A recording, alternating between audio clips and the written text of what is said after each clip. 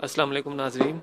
Fire stone کے ساتھ میں ہوں نوید ملک اور میں اس وقت موجود ہوں وفاقی جامع اردو یونیورسٹی اسلام آباد میں اور میرے ساتھ موجود ہیں ڈاکٹر نہید کمبر جو اسسٹنٹ پروفیسر ہیں شعبہ اردو میں۔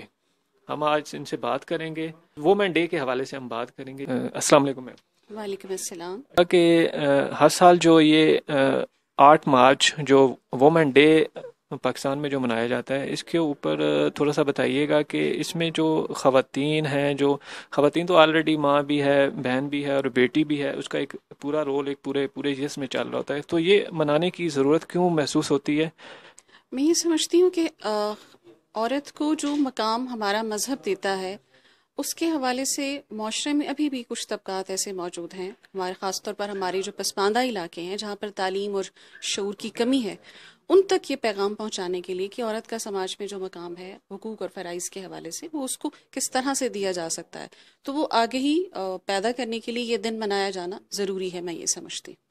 نے دیکھا بھی ہوگا کہ جیسے ہی یہ مارچ آتا ہے اور اسپیشلی جب ایٹ مارچ قریب ہوتا ہے اور یہ وومن ڈے کے حوالے سے ایک اسپیشل ڈے ہوتا ہے تو یہ کچھ نیگیٹو چیزیں اور کچھ آپ کو نظر آتی ہیں سوشل میڈیا پہ بھی اور میڈیا پہ یہ گردش کرنا شروع ہو جاتی ہیں۔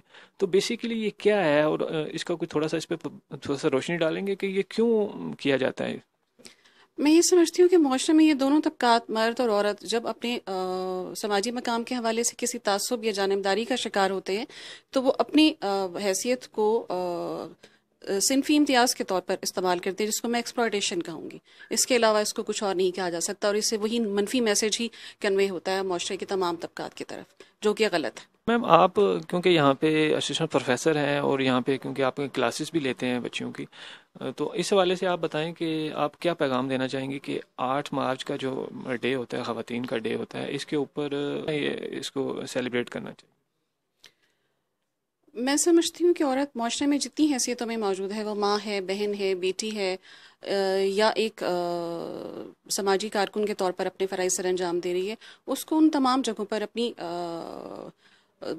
جو معاشرتی تہذیبی حدود ہیں، اس کے اندر رہتے ہوئے کام کرنا چاہیے، لیکن اپنے حقوق سے اس کو آگاہی ضرور ہونی چاہیے۔ ہمارے ہاں ایک ایک المیہ یہ بھی پایا جاتا ہے کہ خواتین کو اپنے بنیادی حقوق سے بھی آگاہی نہیں ہوتی یا پھر معاشرہ ان کو دانستہ اس سے محروم رکھتا ہے۔ تو اس کے لیے میں سمجھتی ہوں کہ خواتین کو اس سے تھوڑا سا اپنے حقوق کے حوالے سے جو قوانین بنائی جا رہے ہیں، جو حکومت کام کر رہی ہے، اس حوالے سے ان کو آگاہی پہنچانے کی ضرورت ہے۔ جی ناظرین یہ تھی ہمارے ساتھ ڈاکٹر نہید کمبر صاحبہ، جو اسسٹنٹ پروفیسر ہیں شعبہ اردو میں اور وفاقی جامع یونیورسٹی اسلام آباد میں۔ آپ نے دیکھا، ان کا یہی کہنا تھا کہ خواتین کو اپنی جو، اپنی روزمرہ کی جو زندگی ہے اور اس میں جو ہے نا، اپنی اپنی فیملی کے لیے جو زیادہ سے زیادہ ٹائم دینا چاہیے اور پازیٹیو چیز جو ہے نا چلنا چاہیے۔ مطلب یہ جو نیگیٹو چیزیں ہیں، یہ سامنے آتی ہیں۔ اس پہ اس کا مقابلہ، ڈٹ کے اس کا مقابلہ کرنا چاہیے۔